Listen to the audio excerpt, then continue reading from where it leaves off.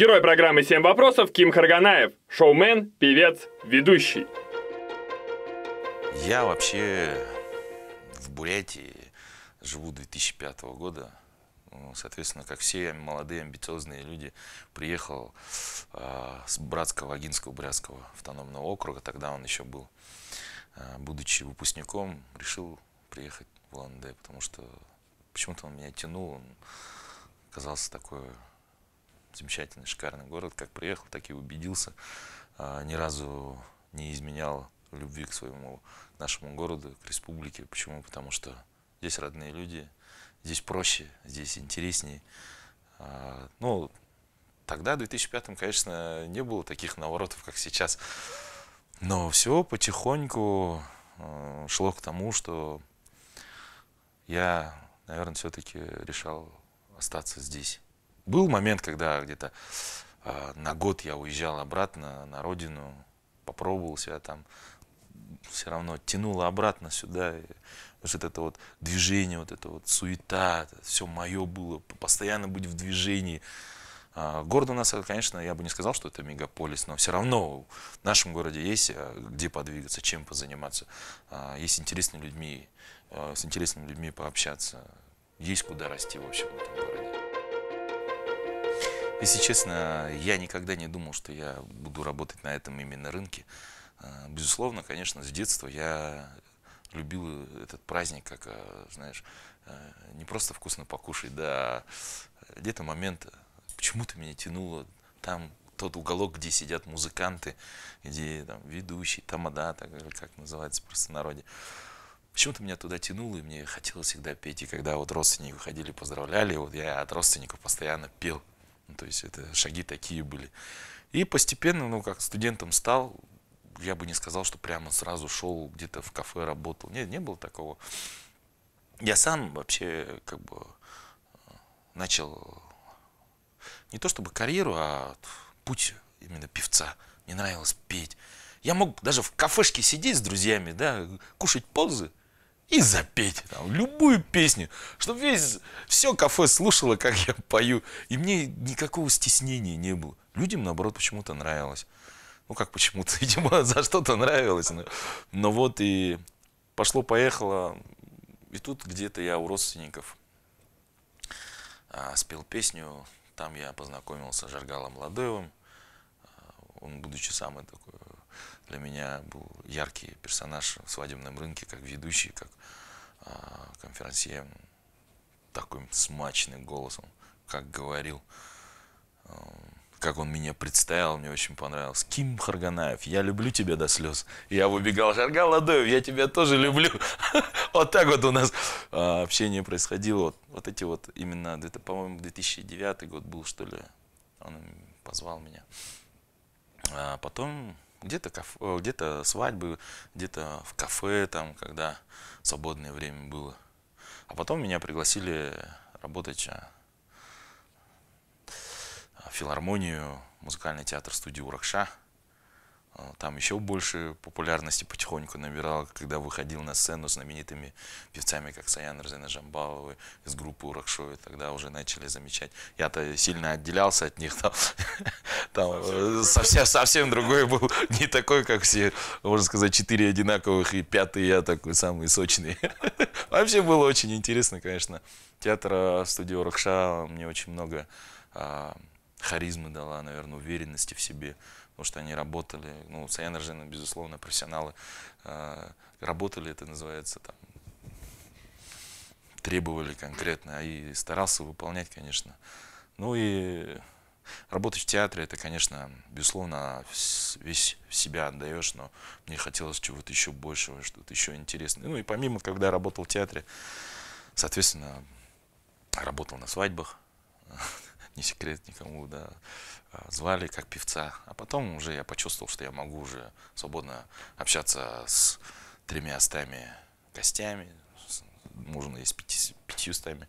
Легко было. И тогда я понял, что я могу работать ведущим. Просто народе тамада, да. Ну и все. Вообще у нас как-то все нечестно или как-то все, все странно получается. Смотри, ам,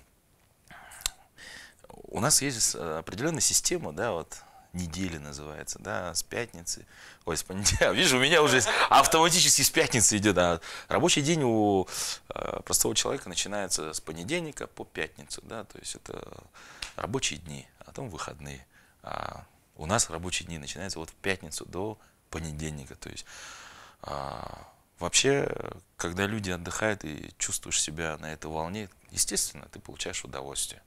Свадьба это, это не знаю, такой источник э, некой энергии, которая тебя подпитывает, да, вот.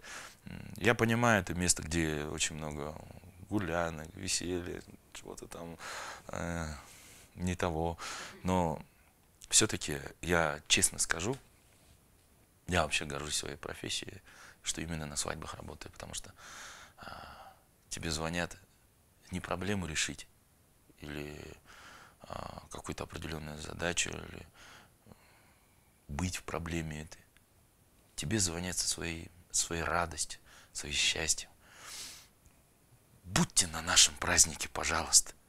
Мы вам заплатим. Что может быть лучше, скажи, а что может быть лучше? А, у нас выходные, у, у людей творчество выходные, это именно свадебного рынка, да, людей это, это будние дни. Будние дни, везде все свободно, то есть ходи куда хочешь там, в парк, в парке мало людей, там, не знаю, там, этнографический музей. Реально вот будние дни ты был, проводя время с семьей, ухаживая за а, детьми, за супругой. Вот это, я считаю, самый главный отдых, быть рядом с семьей. Видеть, что как дети твои растут. А для меня отдых это не значит, что сидеть на пляже, пить коктейль в Таиланде где-нибудь. Это, это не отдых. Это, я не знаю, после этого, наверное, еще устают не как-то здесь хорошо. Байкал, Гусиное озеро, Щучка. Вот наше состояние, вот где нужно отдыхать. Мой самый любимый вопрос, да, самый любимый вопрос у меня, почему меня сравнивают или путают за Рикто Тагачевым. Ну, во-первых, у нас э, энергетика и харизма, я считаю, что схожие. Ну и, соответственно, не только энергетика и харизма, но и щеки, там, все остальное, и глаза, там, пресс, все схожее как бы. Но да, бывало, когда я только начинал э, петь, выступать, там, на гастроли ездить, когда я на деревню приезжал, там маленькие дети, о, на Зарикто Тагачиева похож. Тогда-то мега популярный Зарикто Тагачиев, конечно, у всех был э, и есть, конечно, на слуху. Ну, потихоньку, постепенно я, соответственно, уже свой, свой имидж, свой, свое имя ну, нарабатывал. Я считаю, что сейчас, а, проходя мимо, уже говорят, кто я, уже точно знают, кто я. Зори Харганаев или Ким Тагачиев, я не знаю. Но... Самое, то, что я ценю, это юмор. Это позитив жизненный. Я считаю, что постоянно быть серьезным и э, невозмутимым, это очень тяжело, мне кажется. Ну, каждому свое, но мне проще общаться с теми людьми, кто любит смеяться, любит улыбаться. Очень комфортно. Я ценю в людях, естественно, там. Я могу сказать, как по законам, там, честность, порядочность. Но знаешь, честность, порядочность, она с позитивом, с юмором и приходит. То есть ты понимаешь, что человек, если открытый, он смеется, он будет с тобой честен. Он не будет тебе лукавить. А когда ты видишь э, покерфейс, и, и ты же не понимаешь, что у него за спиной, что он может думать. А открытый человек, который смеется, он тебе все расскажет, все покажет и со всеми поделится. Я бы не сказал, что то, что я много чем занимаюсь, я еще больше хочу заниматься. То есть у меня в мне, мне с детства энергии, не знаю, через край вываливалась. Я в школе, мне места не хватало в школе, я постоянно выезжал на все соревнования. Не было таких а, мероприятий в районном масштабе, там, где я не участвовал. Будь то олимпиада школьная, будь то спортивные какие-то соревнования, там, а, юмористические, ну, все, все, все. Я, я везде участвовал. И, видимо, с детства у меня так сформировалось отношение к жизни. Не то чтобы, ну, такой стиль жизни. То есть я, я не знаю откуда, действительно, я бывает так вот. Сегодня здесь в Уланды свадьбу отведу. На завтрашний день Тунку поеду. Тунке отведу мероприятие. И в ночь выезжаю в Читу, чтобы на завтрашний день быть в Чите, вести мероприятие. Потом обратно утром еду, чтобы 7 часов утра быть и увезти детей в школу, там, в садик, в общем. И когда в дороге еду, да, вот откуда это все? Вот, мысли, это, наверное, дума какая-то о родных, о близких, о том, что я нужен еще, о том, что я я ответ, у меня ответственность в первую очередь, соответственно, да, я, я понимаю это, очень хорошо я понимаю, что такое ответственность. И, соответственно, наверное, все-таки очень много примеров, которые заставляют тебя быть таким, ну, в общем, не слабым, быть сильным, не только телом, но и духом. Потому что духом нужно быть сильным для того, чтобы не сдаться. А сдаться может каждый. Я вижу это каждый день на улице, вижу, соответственно, по телевизору, как люди сдаются. И понимая то, что ты не один в этой жизни находишься, что у тебя есть продолжение тебя, ты должен им дать возможность и самому успеть пожить. Вот это вот, я считаю, что самое интересное в жизни. Вот это вот и, соответственно, нужно жить в гармонии в семье с женой. Да. Ну, безусловно, это выбор каждого. Кому-то навязывать свое мнение, что надо быть здесь или уезжать как-то, я считаю, неправильным. Я просто скажу свое мнение.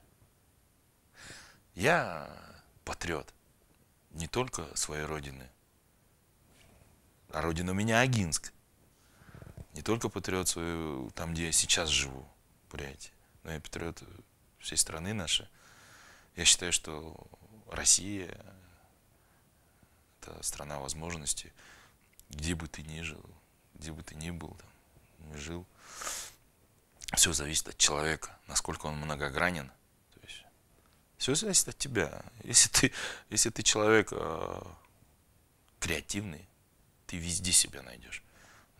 Не зря говорят братья наши, которые приезжают с, другой страны, говорят, вы ходите по деньгам, то есть по возможностям. Вы не обращаете на это внимания. Просто на жизнь нужно смотреть под другим углом. То есть там, где ты живешь, можно под другим углом смотреть и понимать, что а так еще интереснее. А по-другому посмотрел, а так еще интереснее. То есть не надо жаловаться. Надо брать и делать просто, и все. Не надо думать надо действовать. Все в этом и заключается моя жизнь. Я стараюсь то, что я придумал, воплощать в жизнь.